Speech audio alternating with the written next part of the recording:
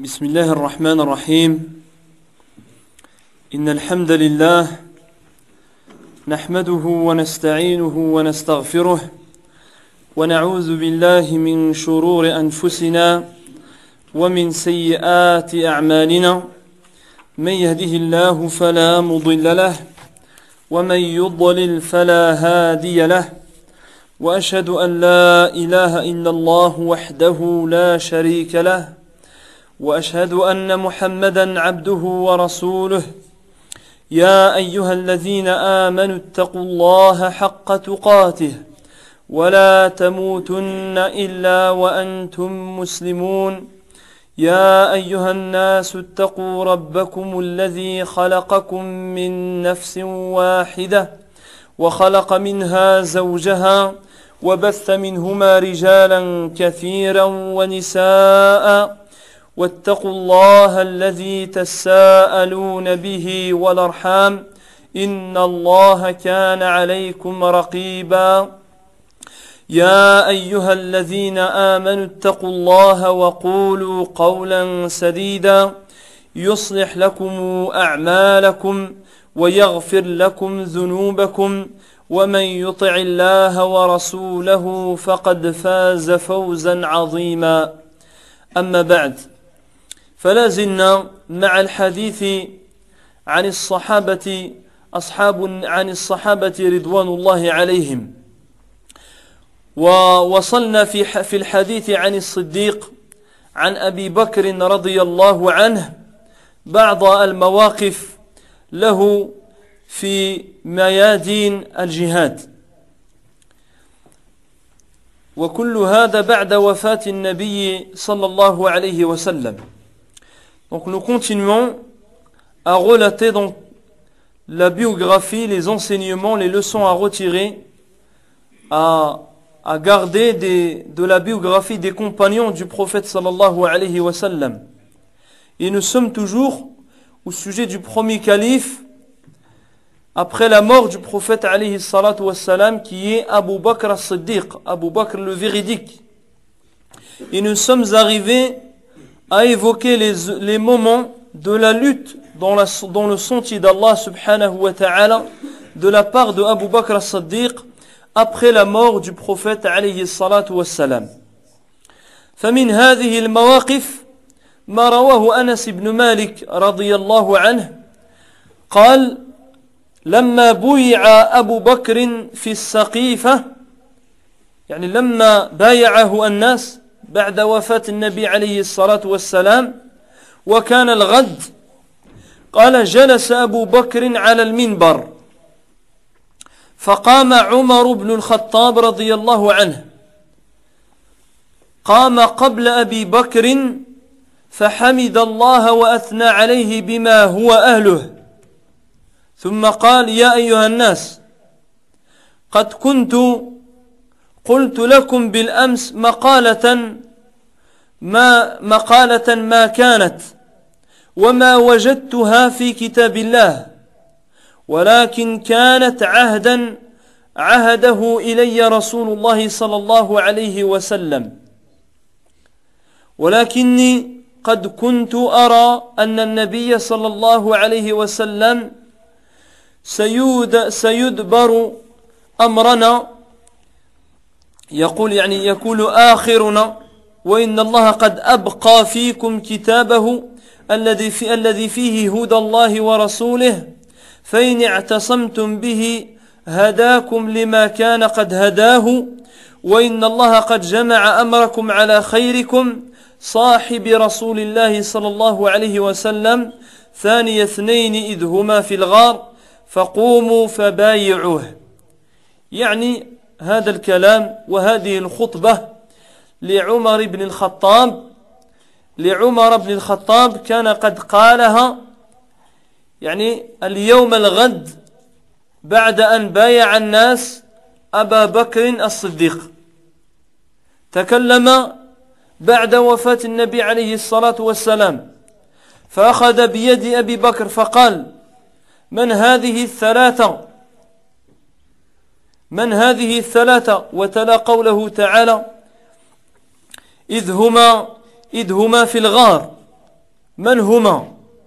يعني النبي عليه الصلاة والسلام وأبو بكر. إذ يقول لصاحبه من صاحبه؟ لا تحزن إن الله معنا. مع من؟ قال هذا الكلام عمر بن الخطاب بعد وفاة النبي عليه الصلاة والسلام.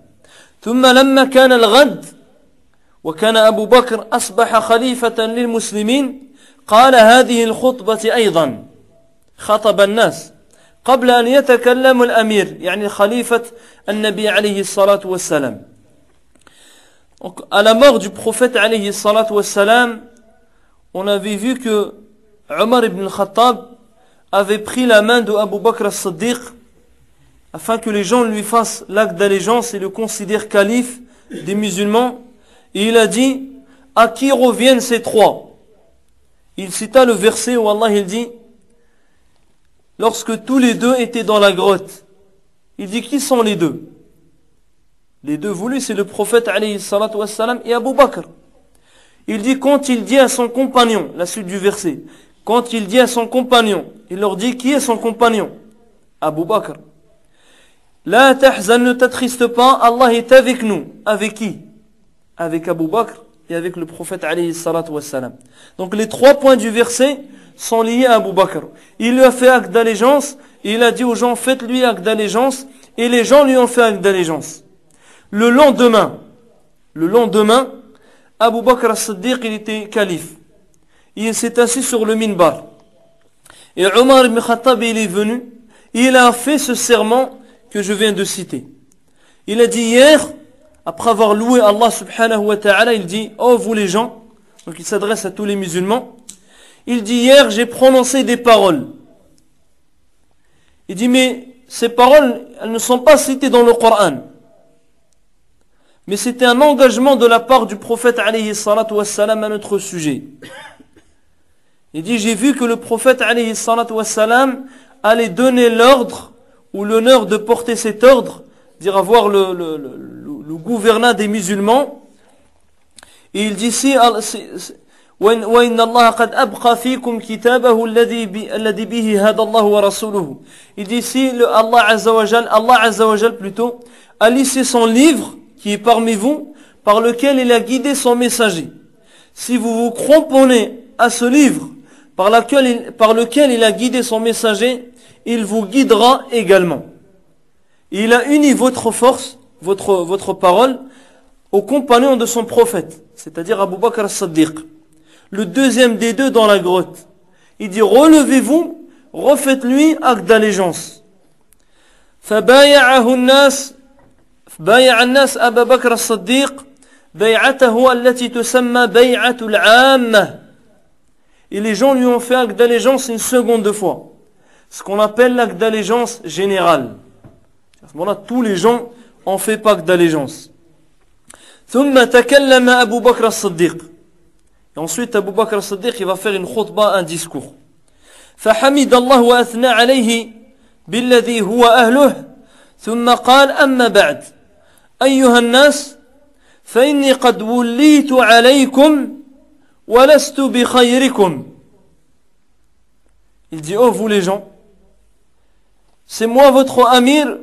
c'est moi qui ai le pouvoir, c'est moi qui veux être responsable, alors que je ne suis pas le meilleur d'entre vous. L'humilité d'Abu Bakr as-Siddiq.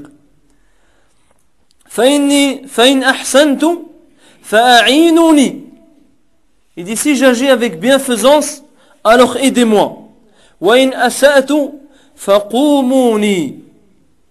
dit si je, je fais du tort, alors relevez-moi, reprenez-moi. Être véridique est un dépôt. Wal-kadhibu. Le mensonge est une trahison. Le faible d'entre vous, il est fort auprès de moi. 'alayhi. Il dit jusqu'à ce que je lui donne son droit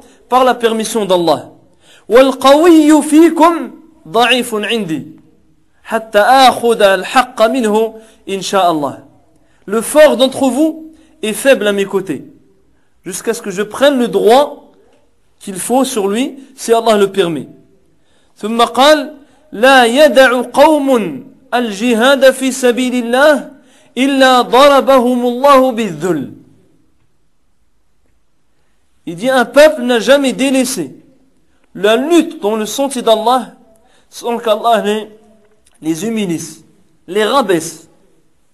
وهذا مصداق قول النبي عليه الصلاة والسلام في الحديث قال عليه الصلاة والسلام إذا تبايعتم بالعينة والعينة نوع من أنواع البيع التي فيها الربا إذا تبايعتم بالعينة وأخذتم أذناب البقر وتركتم الجهاد في سبيل الله سلط الله عليكم ذلا لا ينزعه عنكم حتى ترجعوا إلى دينكم Il dit, un peuple ne délaisse le, le combat dans le sentier d'Allah sans qu'Allah les rabaisse et les humilie.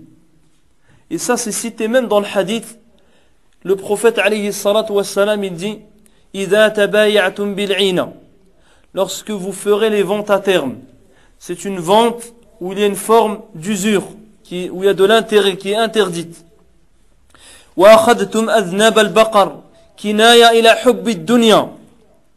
C'est une image, il dit, vous prendrez les queues de vache. Vous suivrez les queues de vache, c'est une image au fait de se tourner vers le bas monde. Comme celui qui est derrière la vache, lorsqu'il veut retourner la terre, il est derrière la vache, il ne regarde que la terre. Ben, c'est la même chose, là, il court vers le, vers le bas monde. Et il dit, vous aurez délaissé la lutte dans le sentier d'Allah. Il dit, Allah vous enverra une humiliation que jamais il n'enlèvera jusqu'à ce que vous reveniez à votre religion. La solution de revenir à sa religion. الحل للمسلمين يعني من هذا الذل مثلا الذي يصاب يعني الذي قد أصاب الأمة في الأماكن في جميع الأماكن في الأرض. الحل ليس الحاكم فقط. الناس يقول الحاكم هو كذا وكذا. لا. الحل المسلمون عندهم الحل أن يرجعوا وأن يتوبوا وأن يرجعوا إلى دينهم الحق. أن يرجعوا حقا إلى الدين. وأن يتمسكوا بالدين. والدين هو الإسلام والإيمان والإحسان. كما في حديث جبريل عليه السلام لما جاء سأل عن الإسلام عن الإيمان عن الإحسان لما أدبر لما ذهب قال النبي عليه الصلاة والسلام لعمر بن الخطاب أتدري من السائل قال الله ورسوله أعلم قال فإنه جبريل أتاكم يعلمكم دينكم أتاكم يعلمكم دينكم La solution, comme j'ai dit pour les musulmans, quand on voit les musulmans, malheureusement, ils sont humiliés de toutes parts. Les gens, les musulmans sont tués, leurs droits sont bafoués. On s'empare de leurs biens, de leurs richesses, de leurs terres, de leurs maisons. On les tue sans compter. Personne ne peut parler. Personne ne peut lever un doigt. Pire encore, des membres même de la communauté, parfois ne se sentent même pas concernés. Ils se sentent même pas concernés ni de près ni de loin. Ça c'est pire encore. La solution dans tout ça, c'est de revenir à Allah subhanahu wa ta'ala. De revenir à la religion comme l'ont pratiqué les compagnons. De se cramponner sérieusement, avec sincérité, en étant véridique avec Allah subhanahu wa ta'ala. Car quand on fait un constat de l'ensemble des musulmans, ils ne sont pas véridiques dans la religion. Ils sont véridiques quand tout va bien. Quand tout se passe bien, on est dans la religion. Le jour où les problèmes débutent, problème au travail, problème dans la famille, problème avec le voisin, problème à droite, à gauche, la religion est mise de côté. En suspens, en attendant de régler les problèmes. Et après on revient faire semblant de la, dans la religion. Ça, c'est pas être véridique avec Allah subhanahu wa ta'ala.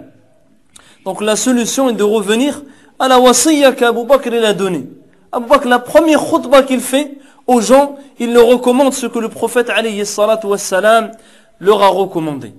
ثم قال رضي الله عنه ولا تشيع الفاحشة في قوم قط إلا عمهم الله بالبلاء. يعني لم يعني تظهر الفاحشة في بلاد المسلمين وفي المسلمين. Il dit رضي الله عنه les turpitudes ne se propagent pas au sein d'un peuple sans qu'Allah subhanahu wa ta'ala va les assembler tous par un grand mal, par des troubles. Dans des hadiths, le prophète alayhi wassalam, il fait, il dit, les gens seront touchés lorsque les turpitudes se propageront. Il dit, les gens vont être touchés par des maladies que leurs ancêtres n'ont pas connues. Quand là, on voit la, fornication, on voit l'homosexualité, parfois même au sein des musulmans. Il y a des musulmans billah, qui font des choses comme ça. Parfois même au nom de l'islam. Allah, il y a des jours, une réunion, un rassemblement à Paris, soi-disant des, imams comme ça, au nom de l'islam. Ça, il est innocent de, toutes ces, de toutes ces maladies. Au contraire, ces choses ne se propagent au sein d'un peuple sans que ce soit la cause de leur anéantissement, de leur éloignement d'Allah subhanahu wa ta'ala. Et même de l'apparition des maladies qui n'ont jamais été connues par ceux qui nous ont précédés. Si on regarde, il y a quelques générations, les gens ne connaissaient pas le sida. Est-ce que les grands-parents connaissaient, entendaient parler du sida? Les gens ne connaissaient pas le sida, c'est apparu après. La raison, c'est qu'on a turpitude le mal il s'est propagé au sein, de, au sein des communautés, au sein des, au sein des peuples. ثم قال رضي الله عنه أطيعوني ما أطعت الله ورسوله Il dit obéis-moi tant que j'obéis à Allah et à son messager. Obéis-moi obéis tant que j'obéis à Allah et à son messager.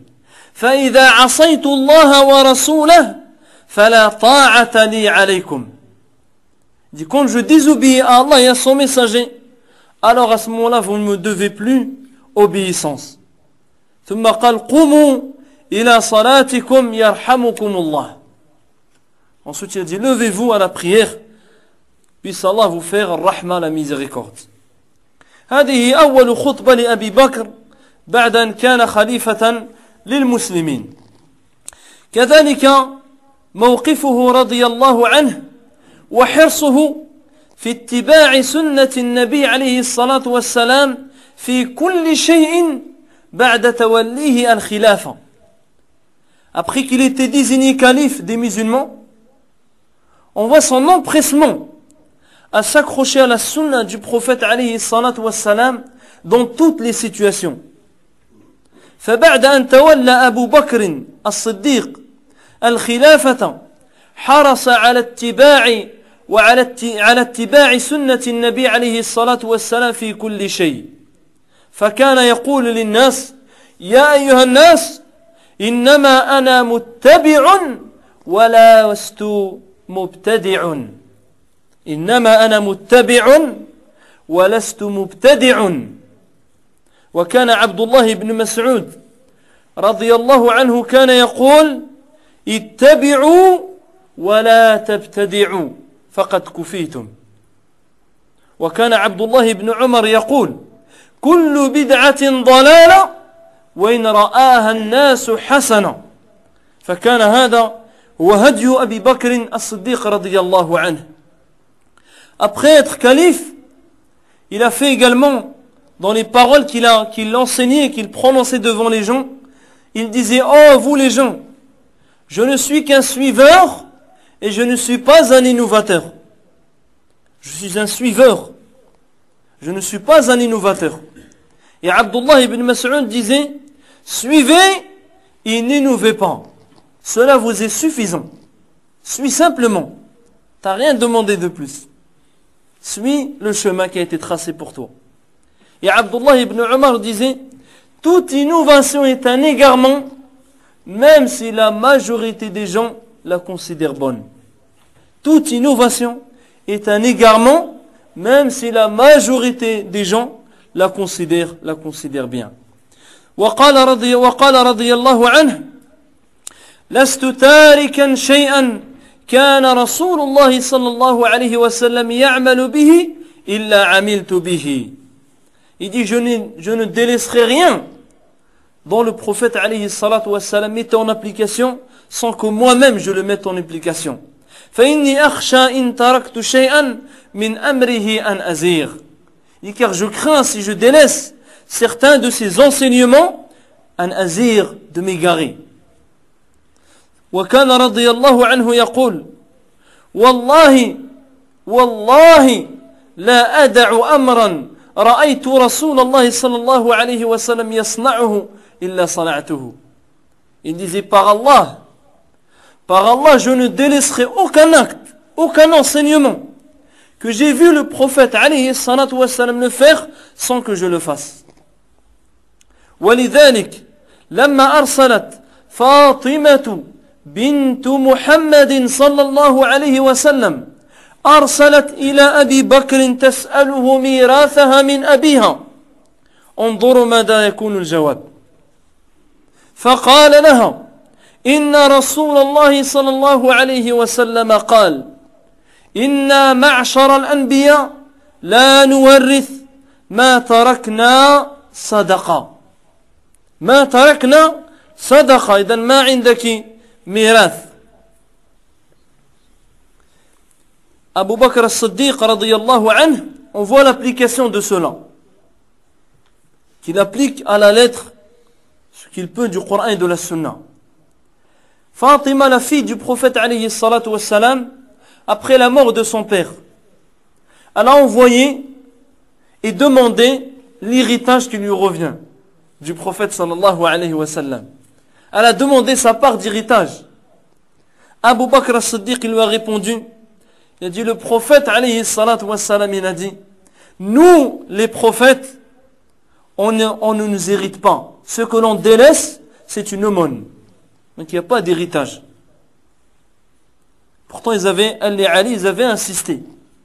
Ils avaient rappelé, ils ont dit, oh, mais on a un droit pour le prophète, alayhi salatu wassalam. Abak, il est resté avec ces termes. Et c'était toujours le hadith. Ça veut dire, nous les prophètes, pas d'héritage. Ce qu'on laisse, c'est une aumône.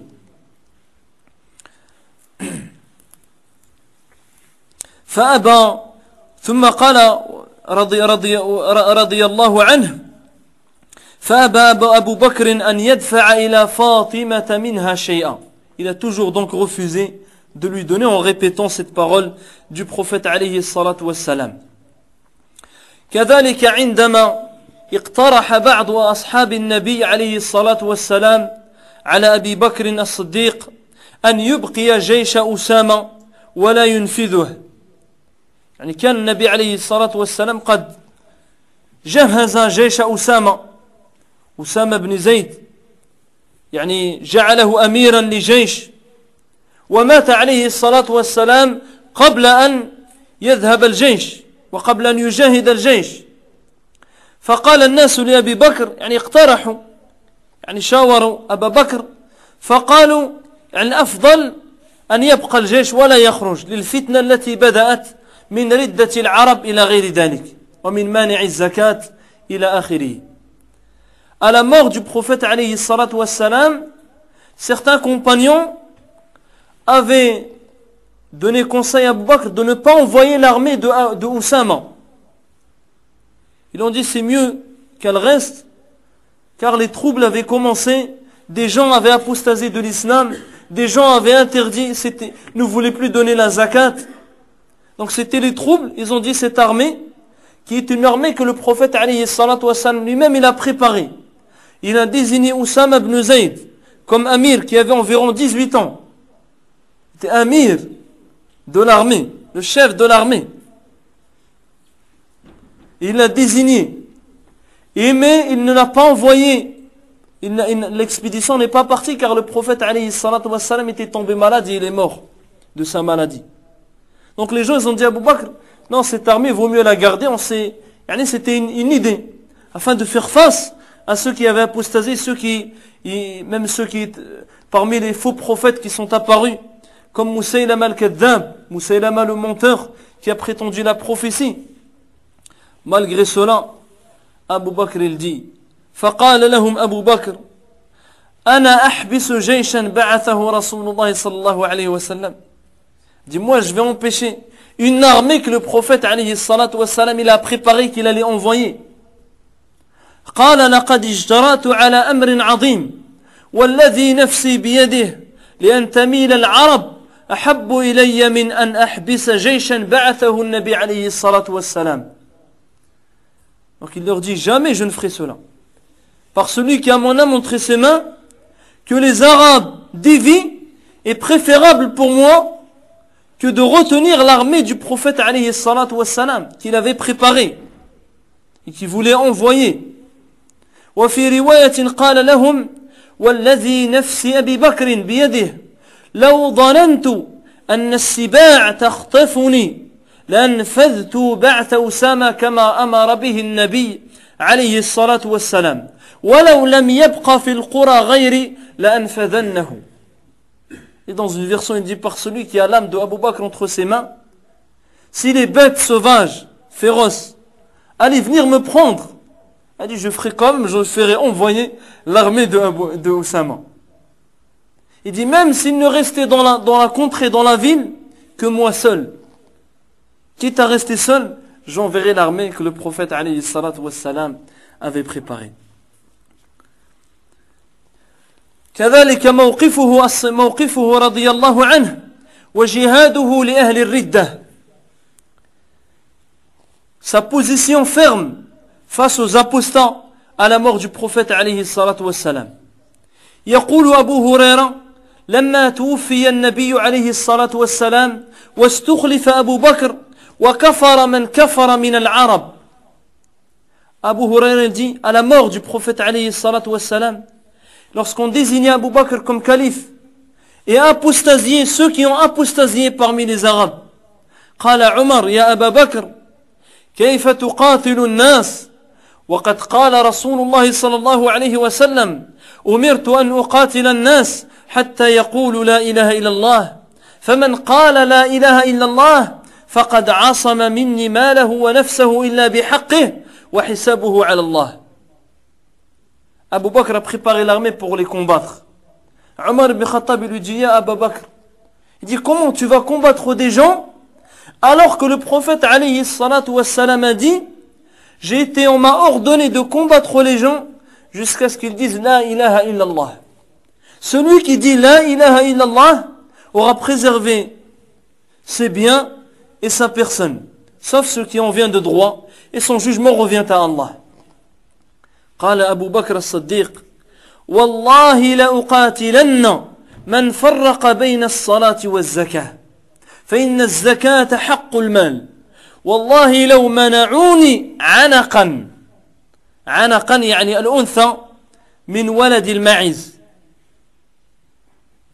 لو منعوني عنقا كانوا يؤدونها إلى النبي صلى الله عليه وسلم لقاتلتهم على منعها.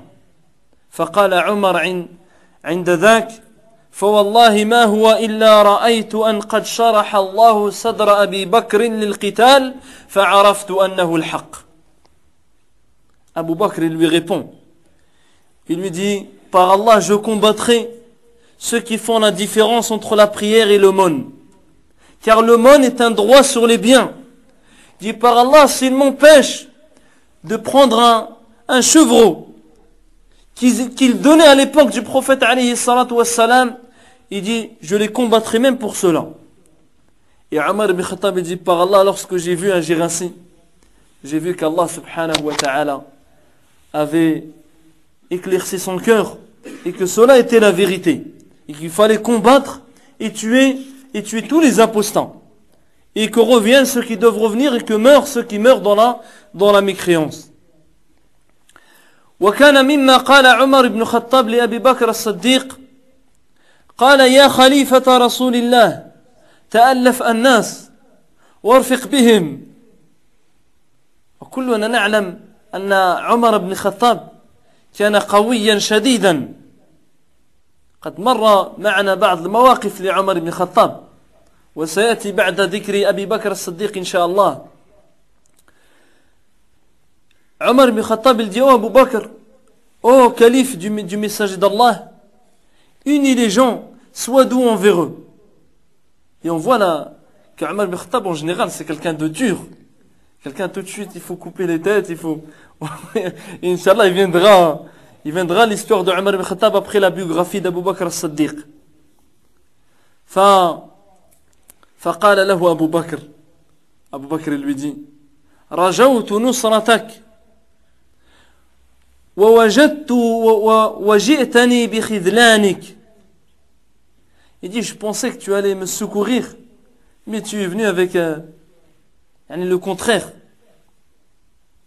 قال أجبار في الجاهلية وخوار في الإسلام Est-ce que tu es un tyran dans l'époque pré-islamique et dans l'islam tu es, un tout faible Et on le voit malheureusement des fois parmi ceux qui...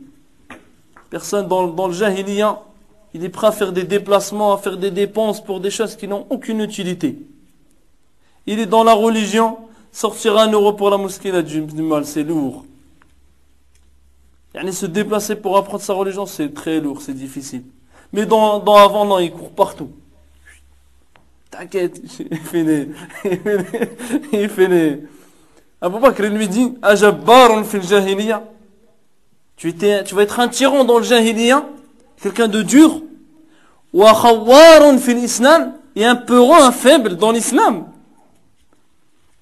إنه قد انقطع الوحي il a dit le wahi, la révélation s'est arrêtée وتم الدين et la religion est complète أينقص وأنا حي سبحان الله العظيم أينقص الدين وأنا حي ils disent que la religion va diminuer moi je suis vivant et moi je laisse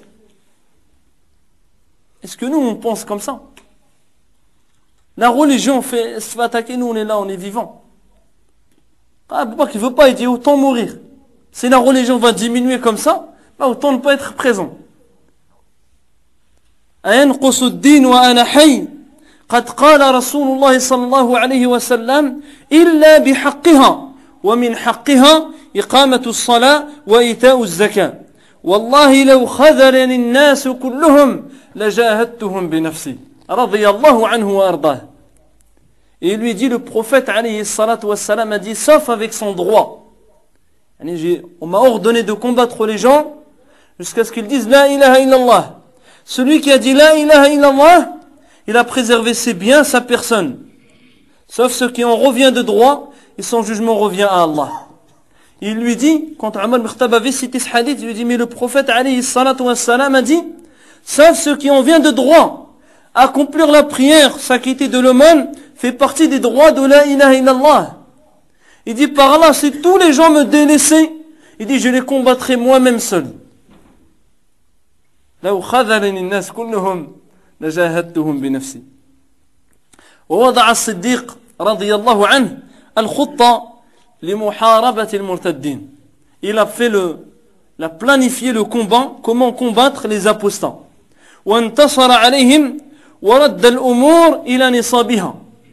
Il les a, donc il les a combattus. Il a remis de l'ordre au sein des musulmans. La paix, la sérénité est revenue au sein des, des musulmans. وكان قوله وفعله هو الحق وقد أيده الله سبحانه وتعالى بالنصر al-mubin. Et toutes ces paroles, tous ces agissements étaient dans la vérité. Et Allah lui a donné le dessus, le triomphe, يعني un triomphe éclatant. فرضي الله عنه وعن أصحابه الكرام ونشهد بأنهم قوم اختارهم الله سبحانه وتعالى لنصرة دينه وصحبة نبيه وكان أفضلهم أبو بكر الصديق. Donc nous on voit, on est témoins nous-mêmes que ses compagnons, ce sont ceux qui ont propagé la religion. Ce sont ceux qu'Allah subhanahu wa ta'ala a choisis. C'est des hommes qu'Allah il a choisis comme il a choisi les prophètes. Afin d'être les ambassadeurs de son prophète. Afin d'être ceux qui vont faire triompher sa religion. Et le meilleur d'entre eux, c'était Abu Bakr as-Siddiq radiyallahu anhu.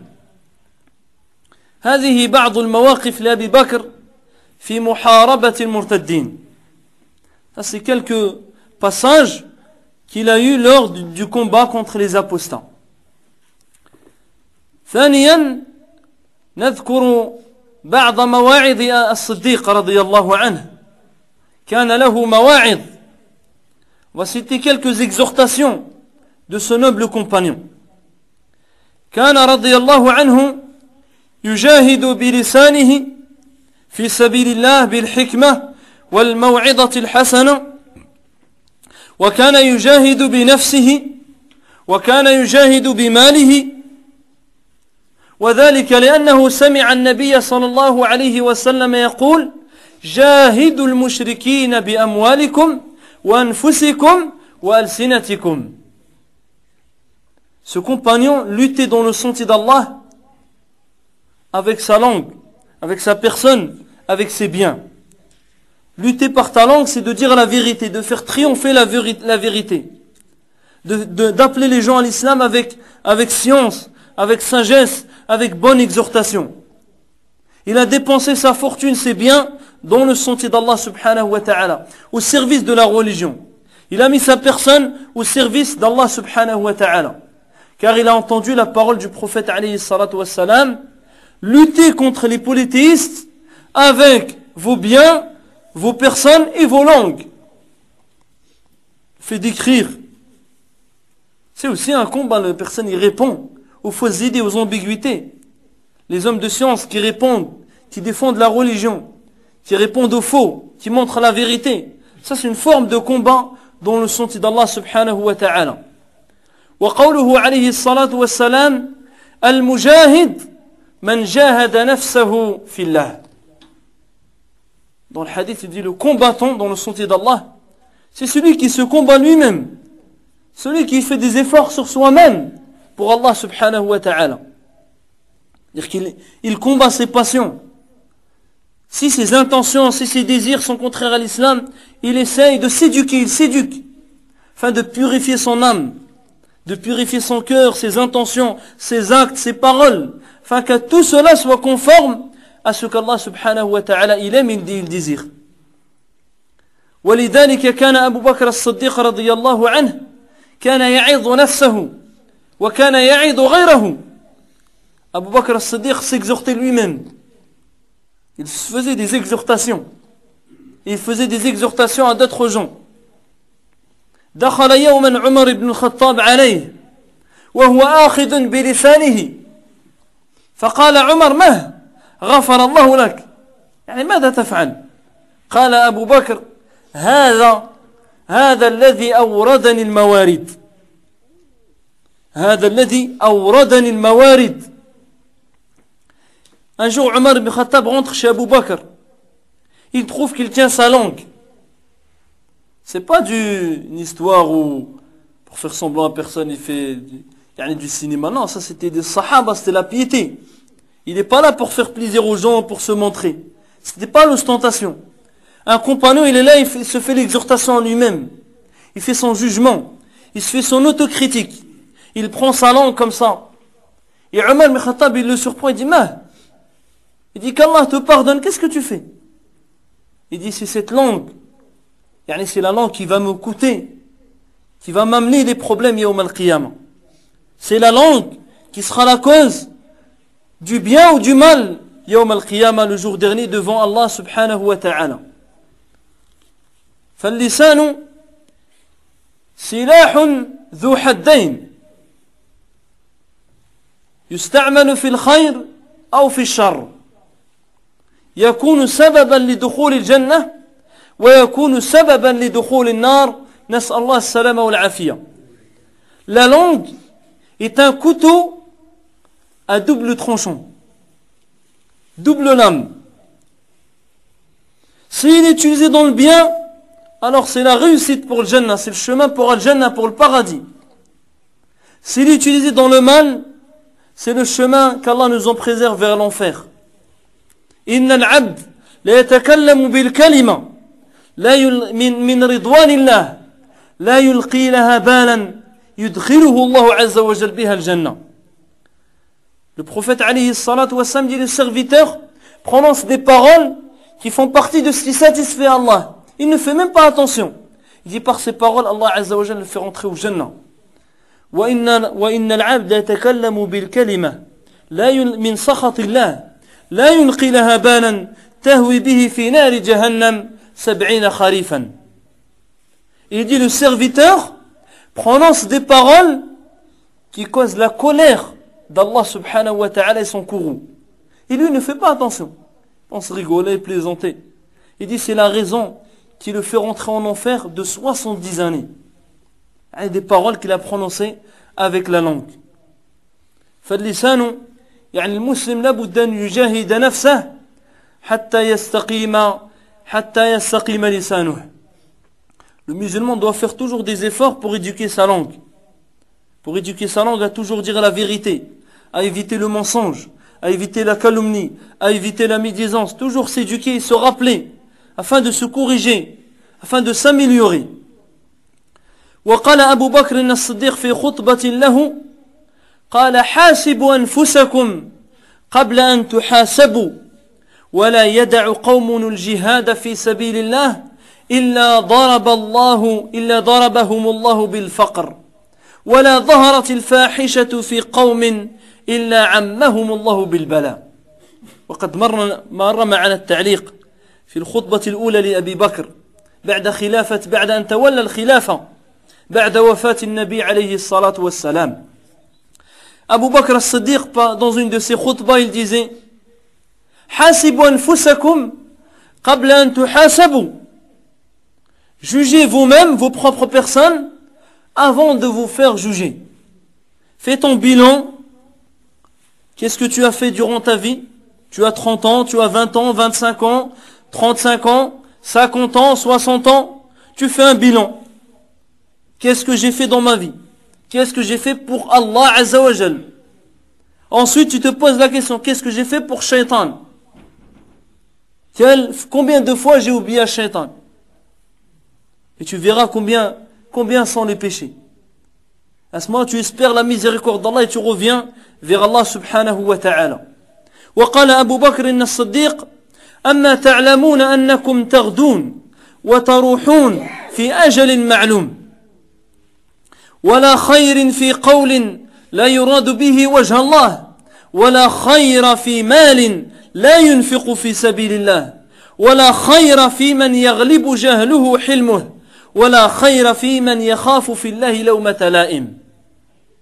Il disait également أما تعلمون أنكم تغدون وتروحون في أجل معلوم Il dit savez-vous que vous partez, vous revenez pour une pour une vous vous, vous, vous vivez pour un, un temps limite, un temps déterminé, un temps fixé. Il dit ولا خير في قول لا يراد به وجه الله. Il n'y a aucun bien dans une parole que tu n'as pas dite pour Allah subhanahu wa ta'ala. Celle qui n'est pas vouée pour Allah, c'est qu'elle est vouée pour autre qu'Allah Azza wa Il n'y a aucun bien dans les biens qui ne sont pas dépensés pour Allah subhanahu wa ta'ala. Il n'y a aucun bien dans celui dont l'ignorance elle a surpassé sa douceur, sa clémence, sa, sa, son sang-froid. La khayra fi man yakhafu fillahi mlawmata la'im. Il n'y a aucun bien dans celui qui craint en Allah subhanahu wa ta'ala, qui a peur alors qu'il est dans, le, dans la voie d'Allah subhanahu wa ta'ala. Il est, il est dans une chose, il craint plus dunya ou des gens de dunya ou de, des choses de ce bas monde, plus que Allah subhanahu wa ta'ala. وقال أبو بكر الصديق وجدنا الكرم في التقوى سبحان الله وجدنا الكرم في التقوى Et on a trouvé que la générosité, la noblesse, se trouve dans la piété, التقوى. وهذا مصداق قول الله تعالى إن أكرمكم عند الله أتقاكم. Ça c'est véridique. Allah Azza wa Jal le cite dans le verset. Le plus noble d'entre vous, c'est celui qui craint le plus Allah subhanahu wa ta'ala. والغناء في اليقين La richesse, c'est dans la certitude. والشرف في التواضع Et l'honneur, c'est dans l'humilité. Dans le hadith, celui qui s'humilie pour Allah, Allah subhanahu wa ta'ala va l'élever. هذا هو الصديق وهذه بعض مواعظه رضي الله عنه Ça, c'est quelques passages, des exhortations, des enseignements de ce noble compagnon رضي الله عنه. ولما حضر أبا بكر أبا بكر الموت دعا عمر بن الخطاب Parce que la mort s'est présentée à lui. Il a demandé qu'on appelle Omar ibn Khattab. فقال له اتق الله يا عمر Il lui dit crains Allah ya Omar. nous, si tu dis à quelqu'un craint Allah, il prend comme une insulte. Comme s'il a fait quelque chose de mal. Tu dis taqillah. Il dit bah j'ai fait quoi? J'ai rien fait. C'est vrai ou c'est pas vrai? On dit taqillah. Il dit bah j'ai fait quoi Tout de suite? On pense qu'on est qu'on vient de dévier ou vient de prononcer une chose pas claire, on vient de dire quelque chose qui est pas clair. Alors taqwa c'est on peut dire taqillah, continue à, craindre Allah Azza wa Jalla. Yani istamir fi taqwa. كما قال الله عز وجل يا أيها النبي اتق الله Dans Surat al-Ahzab, le premier verset, ô oh, prophète, crains Allah. Est-ce que le prophète Azim ne craint pas Allah Là. وألف بعدها. Non, jamais. Mais plutôt continue à craindre Allah. يعني استمر في تقوى الله. Prophète, continue. Continue comme tu fais crains Allah Azza wa Jal. Donc il lui dit crains Allah. Ça c'est aussi la recommandation d'Allah Azza wa Jal. pour tous les hommes, du premier au dernier. الوصية بالتقوى هي وصية الله لجميع الخلق من آدم إلى آخر البشر قد وصى الله عز وجل الجميع بالتقوى ولقد وصينا الذين أوتوا الكتاب من قبلكم وإياكم أن اتقوا الله. on a recommandé à ceux qui ont reçu le livre avant vous, ainsi qu'à vous, de craindre Allah subhanahu wa ta'ala. فقال اتق الله crains الله واعلم أن الله واعلم أن لله عملا بالنهار لا يقبله بالليل. سبحان الله. عملا بالنهار لا يقبله بالليل وعملا بالليل لا يقبله بالنهار Il lui dit, sache que pour Allah il y a des œuvres que l'on fait la journée et qui n'acceptent pas la nuit. Ce qui, quelqu'un réunit toutes les prières la nuit. Allah t'a demandé dans la journée. Et il dit, sache qu'Allah il a des œuvres pour la nuit qui n'acceptent pas dans la journée. وإنه لا يقبل نافلة حتى تؤدي الفريضة et sache qu'il n'accepte aucun acte surrogatoire avant que tu n'accomplisses les actes obligatoires. وإنما ثقلت موازين من ثقلت موازينه يوم القيامة باتباعهم الحق في الدنيا باتباعهم الحق في الدنيا وثقله عليهم Il dit ceux dont les balances pèseront lourd le jour dernier, ceux qui réussiront, Il dit, leur balance ne s'est alourdie que car ils ont suivi dans ce bâment de la vérité. Cela leur a permis d'alourdir leur balance.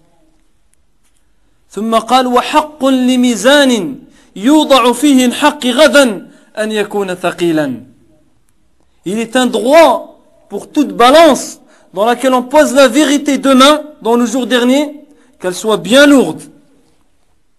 وإنما خفت موازين من خفت موازينه يوم القيامة باتباعهم الباطل في الدنيا فخفته عليهم Il dit ceux dont les balances seront légères. Il dit elles ne seront légères que car dans ce bas monde ils ont suivi le faux. Cela a allégé leur balance.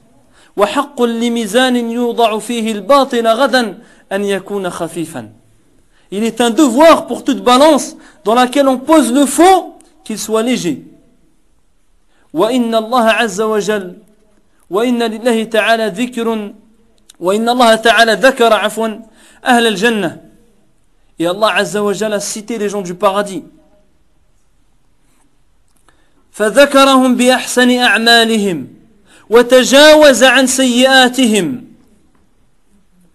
Il dit sache qu'Allah Azza wa Jalla a cité les gens du paradis. Il les a cités par les, par les, les meilleurs de leurs œuvres. Il a fait indulgence, pardon, à leurs mauvaises actions. فإذا ذكرتهم قل فإذا ذكرتهم قلت إني أخاف أن لا ألحق بهم Lorsque je me souviens des gens du paradis, je crains que je ne fasse pas parmi eux. أبو بكر الصديق يقول هذا الكلام وأن الله سبحانه وتعالى ذكر أهل النار فذكرهم بأسوأ أعمالهم ورد عليهم أحسنه Il dit Allah Azza wa Jalla a cité les gens de l'enfer, qu'Allah nous en préserve. Il les a cités par leurs mauvaises œuvres. Il a rejeté les bonnes œuvres qu'ils ont pu faire. فإذا ذكرتهم قلت إني لأرجو أن أكون مع هؤلاء قلت إني لا أرجو أن لا أكون مع هؤلاء dit quand je me rappelle d'eux, il dit j'espère ne pas faire partie de cela. وليكون العبد راغبا راهبا que le serviteur soit raghib et rahib. C'est-à-dire qu'il y ait la crainte et qu'il y ait l'espoir. Tarhib. Espérer en faisant les bonnes actions, craindre pour les mauvaises actions que l'on a, que l'on a commis. Ce sont les deux ailes de l'oiseau.